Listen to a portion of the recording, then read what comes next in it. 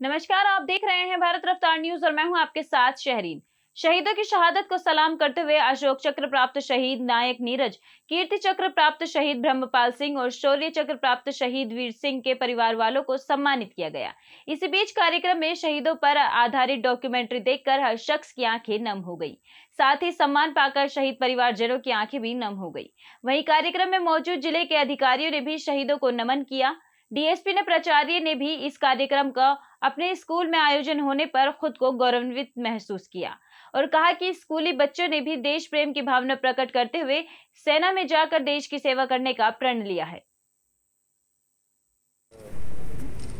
Independence day की celebration के तहत पूरे देश भर में जो वीर नारीज हैं और जो शौर्य पुरस्कार, पुरस्कृत के जो नेक्स्ट ऑफ़ किन है, उनको सम्मानित करने के लिए ये सेरेमनी आयोजित की गई। मेन मकसद ये था कि हम अपने देशवासियों को इनसे इंट्रोड्यूस करा सकें, इनके सेक्रीफाइस के बारे में और इनके जो पति हैं, बेटे हैं, पिता हैं, उनके जो उनकी जो कुर्बानी है उसके बारे में हम पूरे देश को बता सकें सर युवाओं के लिए क्या संदेश दिया वीरों को सम्मानित करने का मेन मकसद उनकी इज़्ज़त करना है। साथ ही साथ ये जो युवा हैं देश के उनको प्रोत्साहित करना है जिससे कि वो भी आगे बढ़ चढ़ के वो भी फौज में अपने देश के लिए पूरी होश और जोश के साथ लगे। देश के, देश को आगे बढ़ाने के लिए हर काम में मोटिवेटेड होके पूरी ज़ोर से आए। मेरे हस्बैंड आर्मी में थे। उनकी पोस्ट है ना, आर में। सत्तावन आर में गई हुई थी। और ग्यारह अगस्त को गई थी, चौबीस अगस्त को। उन्हें कुपवाड़ा में। आतंकवाद के साथ मुठभेड़ में।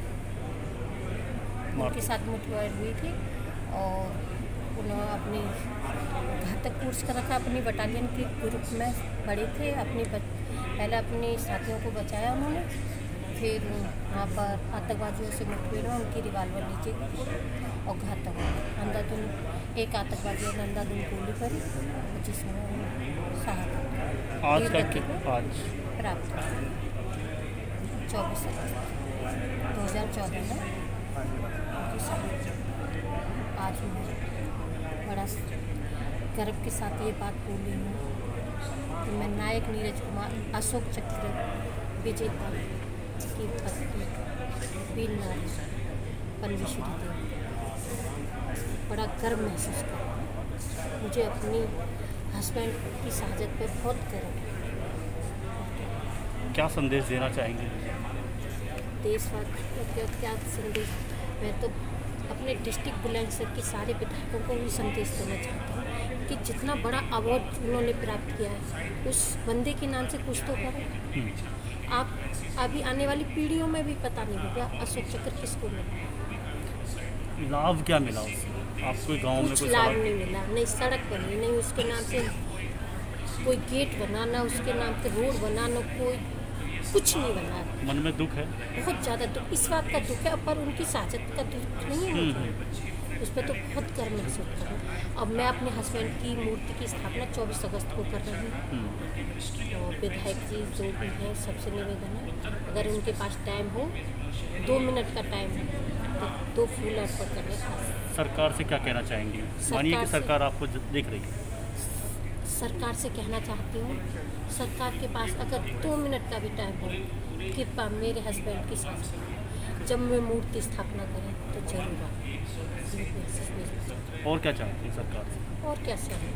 और कुछ नहीं। मेरे हस्बैंड का ना डिस्ट्रिक्ट बुलंदशहर में नाम चाह रहा अरे कुछ नहीं तो खुर्जा में उनकी मूर्ति की स्थापना करें। रोड का नाम लिखें या कोई चौराया उनके नाम से बना। ये चाहते क्योंकि आने वाली पीढ़ियाँ उन्हें याद रखें। मुझे तो सम्मान की ज़िंदगी बहुत मिल रही है।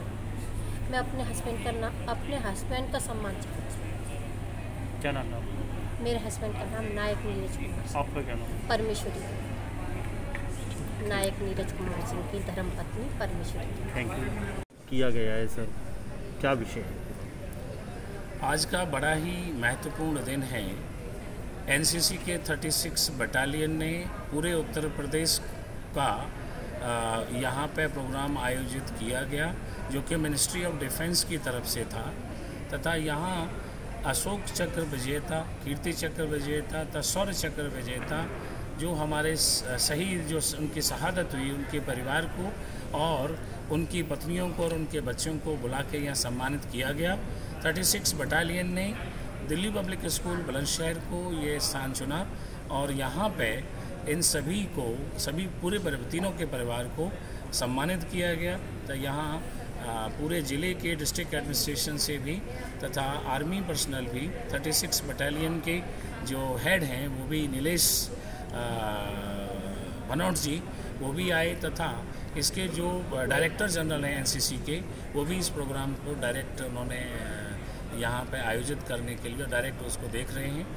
मैं अपने स्कूल के प्रांगण में इस प्रोग्राम को जो आयोजित किया है, उससे बहुत ही गर्वान्वित महसूस कर रहा हूँ। तथा मैंने अपने सभी बच्चों को, छात्रों को, छात्राओं को ये एक मैसेज जाता है, पूरे पूरे डिस्ट्रिक्ट के अंदर ये मैसेज जाता है कि हमें बड़े होके सैनिक सैनिक जो है करना है, देश की रक्षा करनी है, देश के प्रति कुछ करना है।